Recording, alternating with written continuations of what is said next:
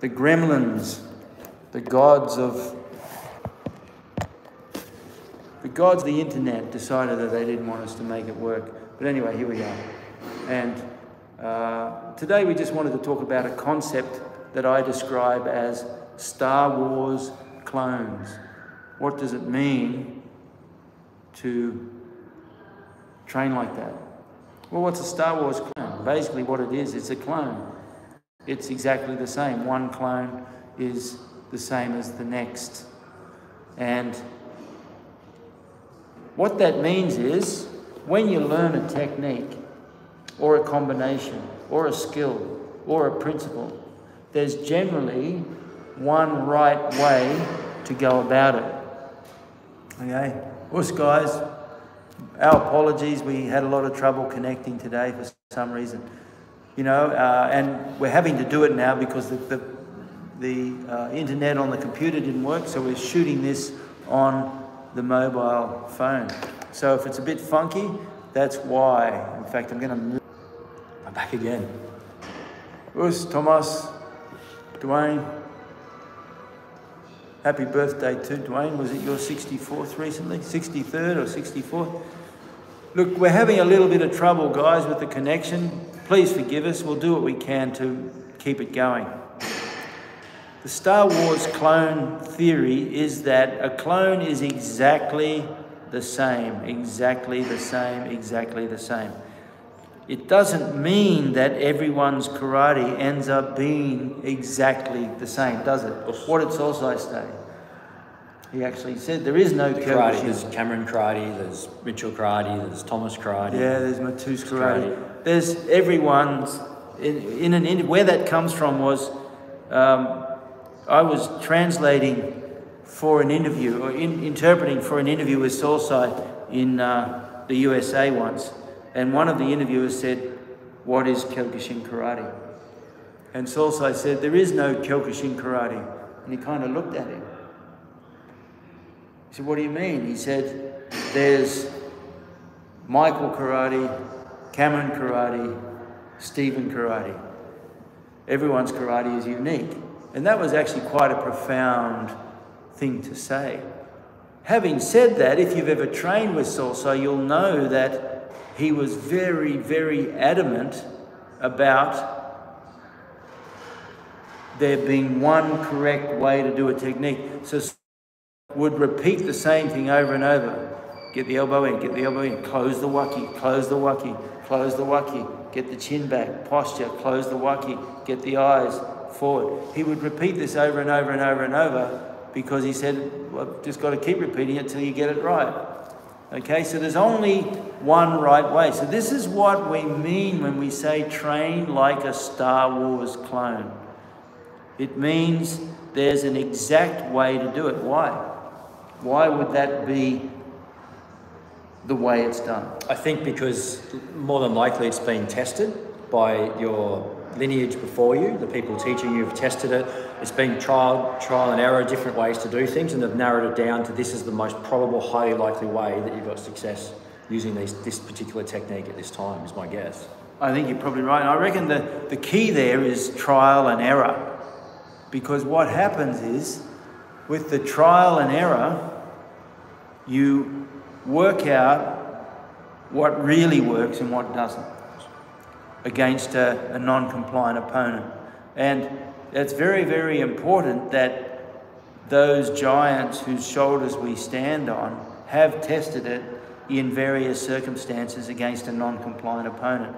And the whole idea of, of trial and error is that you constantly eliminate the forms of the skill that you're working on that don't work anymore. Yeah. Or the forms of the skill that are inefficient or prove themselves to be less effective. And I think that's where having a great instructor and a great lineage comes from as well. Because what if you're with someone that um, hasn't necessarily tested it? They've just learnt it, um, whether they haven't done tournaments or they haven't had actual confrontation or they haven't spent time in a certain range. How do you really know what's happening? So I think that's a very important thing to the instructor in the dojo.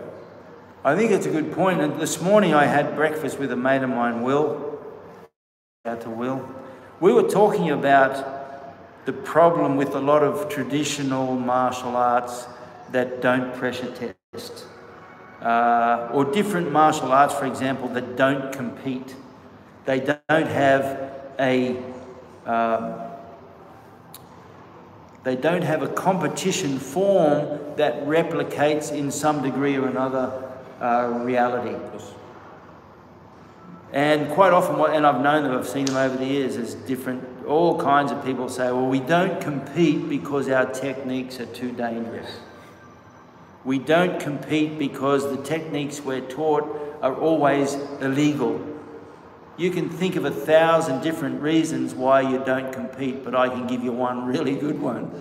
It's the only way you can pressure test against a non compliant opponent without going out there and beating up someone. Being a bully, yeah.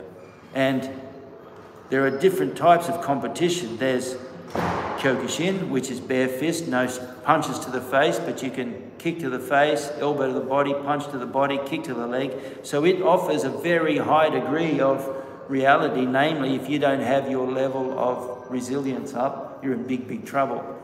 Okay, that sturdiness uh, factor, Quality, yeah. that, that somatic quality is very, very important. Then you have boxing, kickboxing, wrestling, BJJ, uh, Muay Thai. All these are sports.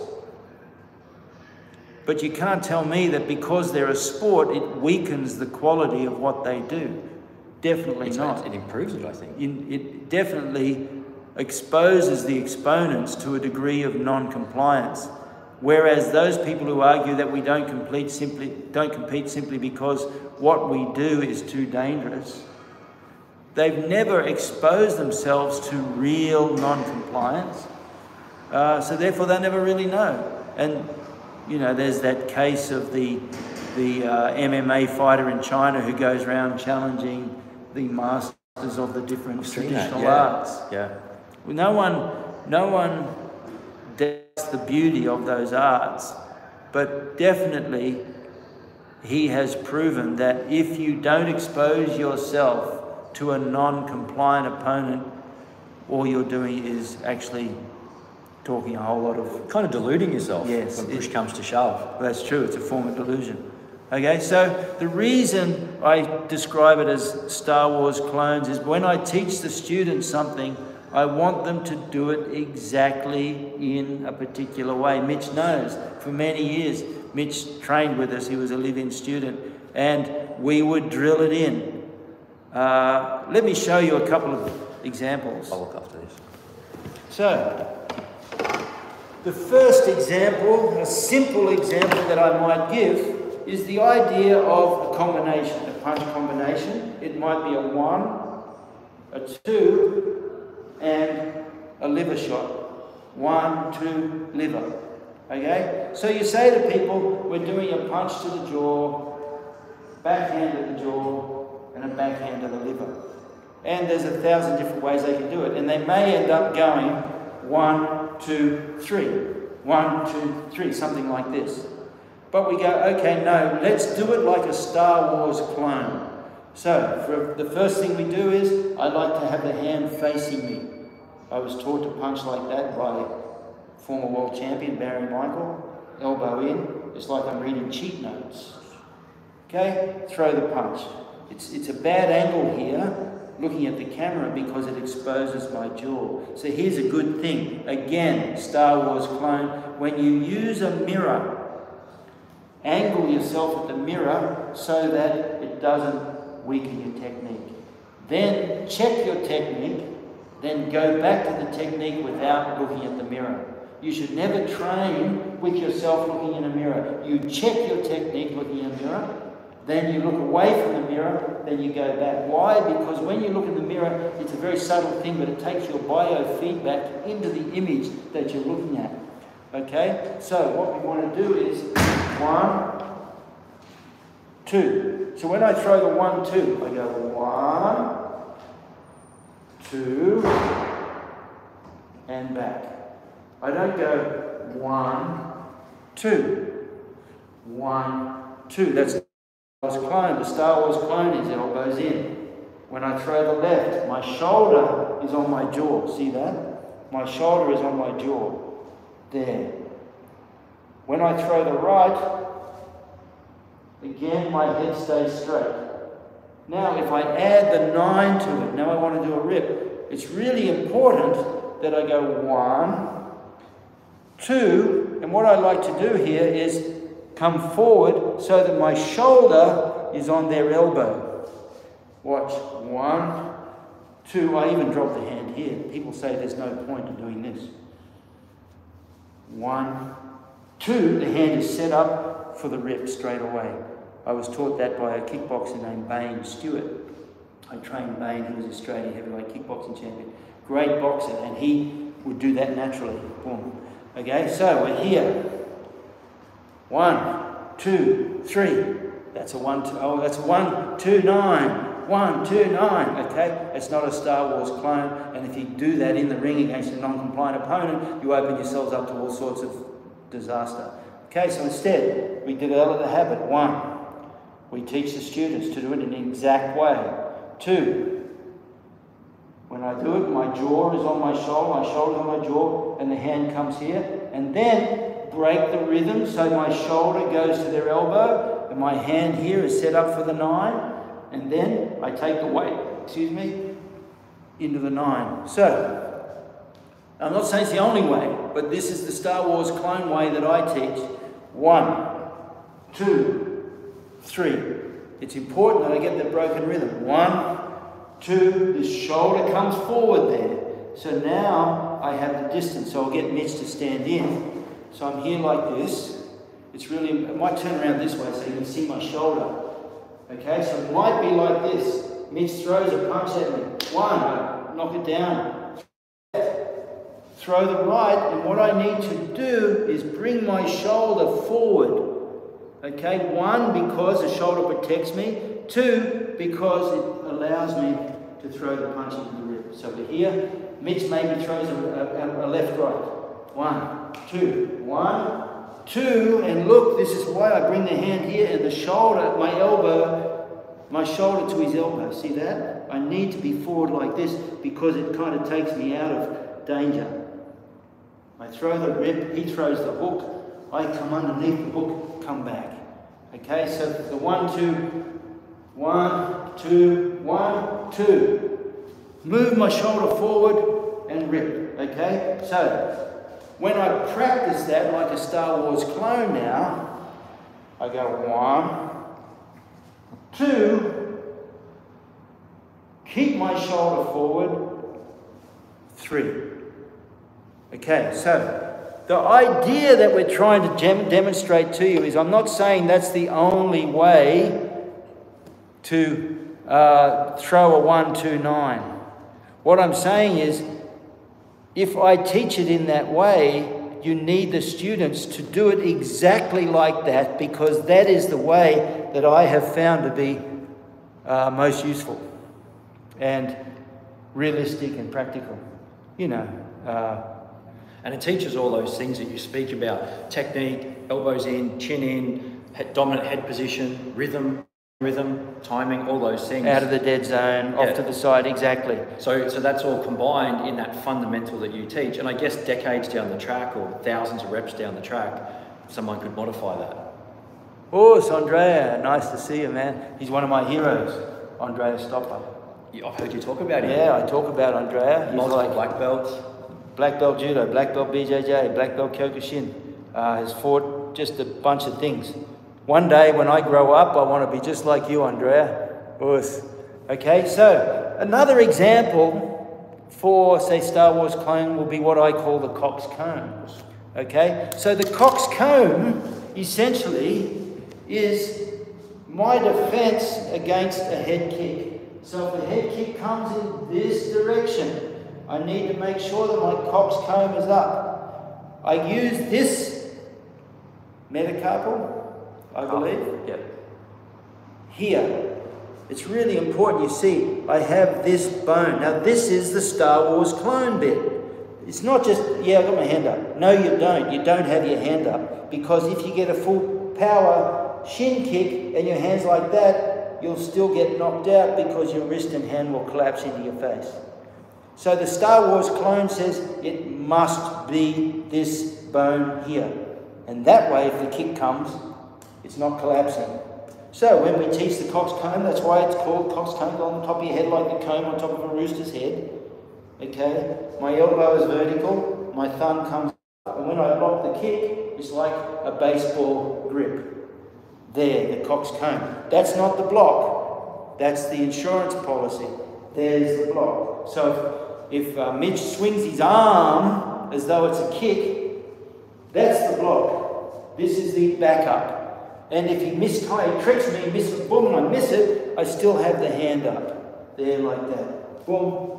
The coxcomb must be done in a very particular way. Not like this, with my body open. Not like that, with the wrong bone on my head it must be done exactly like that jaw forward, shoulder forward, there, so that when I pick it up, I pick it up strong. They're just some examples of what we mean. Okay, they're examples. They're examples of what we mean by Cox, uh, by um, Star Wars clone. You have to do things in a very particular way. When you grapple, by the way, it's even easier to see. If you don't do things in a particular way, uh, it just doesn't work. Um, for example, if, if Mitch stays there, stay there, and I'm going to turn around, I'm going to do just do a, a, um, a rear naked choke. This works, this works, this works. They all work until they don't work. So the first thing is I get my arm around, then I bring this up my arm, and Mitch gets it, and bang, I break my arm. So the Star Wars clone says, don't expose your arm. So the next thing I want to do is keep this hand hidden. So instead of coming here, putting on my bicep and then going behind, in which case Mitch would take my arm, twist it towards the thumb, and next thing you know, I'm going to have to tap or break an arm. Okay? So I'm in this position. I keep my head close. I don't keep my head here. Why not? because Mitch is just going to go bang with a headbutt. Boom, back like that. If I'm like this, he headbutts back, breaks my nose. So I keep my head close. Now he can't headbutt me. Now this hand comes to here, and I pat my own hand and I slide it through. Then I grip, then I squeeze, then I rotate, down. Okay? There's a very specific way. Of course, there's a dozen, half a dozen different ways that you can do it, and they'll all work under a degree of non compliance. But if you really want to find a technique that works more times than others, I won't say all the time because nothing works 100% of the time. If you want to find a technique that works more time, if you want to find a technique that doesn't expose you to the dangers of being counted, another thing about this too is if I'm here and I go put my hand on the head like that. See that? Mitch just reaches over and pulls my hand off. Okay, if I want to put my hand behind, I turn my palm. So now when Mitch pulls my palm, he actually pulls it into his own head. But I don't even leave it behind the head. I bring it, I bring it all the way to the opposite shoulder, like that. So once again, the Star Wars clone way that I do the rear naked is based on a series of trial and error. Do it like that. Oh, pulls my hand off, pulls my hand off. Oh, I'm not going to do it like that. How do I fix it? So my coach says, well, no, actually, I go, okay, well, that works better now. But still, there's a little bit of space. So I'm going to come around, oh, break my arm, oh, break my arm. How many times have I got to have my arm broken before I go, well, that's a bit silly, so let's not expose the hands. And let's, let's boom, let's slide it this way. Okay, and the next thing you know, through a series of non of uh, trial and error experiences with an increasing degree of non-compliance, what you get is a Star Wars clone way of doing something, and you teach your students that way. You can say, look, there's this way, this way, this way, but inevitably your chances of making it work those ways are less than they are if you do it this way. And that's where we students get to stand on the shoulder of giants who have iterated that many times in all those situations. Yes, exactly. The karate that we do, of course, goes back many, many years. And what you have is the masters who develop, for example, certain way to do kata, certain way to retract hands, certain way to do certain blocks. Why does Sosai go? Well, when you when you bring your hand up, you have the finger tip on the tip of the ring finger. I've actually watched recently a Goju kata. They actually do it opposite. Well, their reason may be very good, but Sosai's reason, reason makes sense. When you come up like that, it's on the ring finger. When you go to the side, it's on the middle finger. And Sosai was adamant, no, put it on your middle finger. Don't just beat around the bush and do it any old way. Be a Star Wars clone. And I think uh, that's another way of saying do it exactly as it's taught. But then there's a dilemma, right? Be a clone, but have your own karate. So where do you find the step off? Where do you go from being a clone to developing your own karate? It's a good question. Do you do do you have a similar situation in, in physical athletic development yeah, absolutely. where you teach someone to do something and then immediately they go off and do their own way? They'll do their own thing straight away. It's Yeah. like, oh, it's not exactly how it Yeah, goes. yeah. yeah. But there is a time when they can go, all right, I'm going to do it differently. But I think perhaps the key to that is based on their own. Personal, I was going to say personal experience, their own trial and error. Yeah, based on their own trial and error, they may, and you know, sometimes technique will change because of physiological Absolutely. differences. Someone's got really long legs, short arms. Someone's got really long arms, short legs. Someone has a stronger back. Someone has stronger They're more legs. kyphotic and That's rounded. right. Yeah. You know, so of course, then once they learn the exact way to do it, you can do what you want after that. You can make the changes as you see fit. It's the same with karate. So Sosai said there is no Kyokushin. There's Mitch Karate, Cameron Karate, Andrea Karate, like that. Okay? So what happens is you drill and drill and drill and you do it in exact way, an exact way, an exact way, and then you adapt not so much the technique, but the timing, the angles, the distance, the little things like that. You adapt where you introduce that particular technique into the fighting. Okay, that's where you make the differences. And I think it's really valuable to know that there is a stepping off point from being a clone to creating your own karate. But first and foremost, if you go around anywhere in the world and train in any Kyokushin dojo, there, Sosai said, there is only one correct way to do a particular technique. Okay? And this is the beauty of what Sosai said. You know, he said there's only one right, right way to do a technique, but if the way you do it knocks them out, that's the right way. So that's that balance between being a Star Wars clone and having your own karate. You start off, you the reason we go to a dojo and learn under a master is because they it saves an awful lot of time. Yeah. Imagine if every time you wanted to learn how to fight, you started from zero yourself. It's like You never get anything done. you never get anything done. All the great fighters in the world, in any style, in any form of fighting, spend a time at the feet of the master learning the particular skills before they develop their own style. And there's that good saying, there's no shortcuts to success. Everyone's got to pay full price. And I think that doing those reps and those reps and those reps, like you say, at the foot of the master is, uh, is critical for that. Yes. So to sum up what we mean by Star Wars clone, Sosai says there's an exact way. You go to any dojo in the world, and some dojos can't say that this is right, and another dojo can't. Everyone, there is an exact way that you need to work on your basic techniques. There's an exact way you should move. Later on, under pressure against a non compliant opponent, if you can make your way to move, that's okay. If you can make that work, that's fine. But as teachers, you will find that there is a universally correct way to do something. And you walk into a dojo, the way the instructor teaches, he wants everybody to do it in exactly the right way. When they're a second dan, third dan, fourth dan, they can make the changes. But until then, they have to be like the Star Wars clone and do it exactly the same. And the kata, that's one of the reasons why we do kata, because kata is a form of Star Wars clone training. Everybody does it. And you know when you you watch a team of people doing kata, it's all exactly the same. And that's what gives it its skill and strength and beauty. You don't have different people doing different things and they go, well, you know, I just decided. I have seen that. I have trained with people who've gone, yeah, no, I, I, I do the stance differently. You know, and you ask them what degree of non compliance have they exposed that to, and invariably the answer is none. I do it differently. I stand differently. But it's I so easy to have that belief, that attitude towards kata or a lot of these things if you haven't tested yourself, right? Yes. Because you can easily become deluded. yeah It's so easy to go off track. Whereas 100%. when you have been tested, you're, you're more likely to stay on track. Yeah.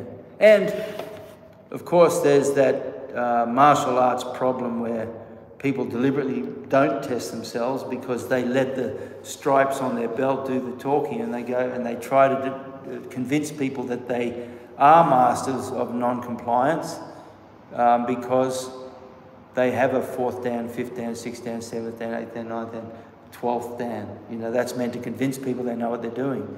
But you just take green belt can walk up and just go, oh, well, let's just pressure test, see what you've got. That's the key, pressure testing. Start as a Star Wars clone, trial and error, trial and error, trial and error, drill, drill, drill, drill, drill, but keep drilling with improvement. The Japanese concept of Kaizen. My good buddy Ryan Fiorenzi, shout out to Ryan, has a dojo called the Kaizen Dojo. Oh, cool. Yeah, Kaizen, the Japanese concept of incremental, small improvements. You never let, also said, you, you can never stand still. You're either going backwards or going forwards. So keep moving forwards. And that's what Kaizen means. Pressure test, but keep pressure a little bit, tweak, tweak, tweak, tweak all the time. That's what I mean by uh, Star Wars clone. And we were going to talk about the Dojo Kun, but we might do that next week. We had a really good, um, people in part of my Budo blueprint, we had a good couple of hours discussion about uh, the, the Dojo Kun. Some Yeah, it was, fantastic it was fantastic. Yeah. Um, it was really insightful. Yeah, Two hours was. on it. It was was really good. So, uh, and that's, you know, everybody who took part really contributed a lot of really good stuff. So that's where we go. Guys, thank you very much. Be like a Star Wars clone. And if you don't know what I mean by that, then always ask what is the exact way to do a technique? What is the exact flow in a, in a grappling situation?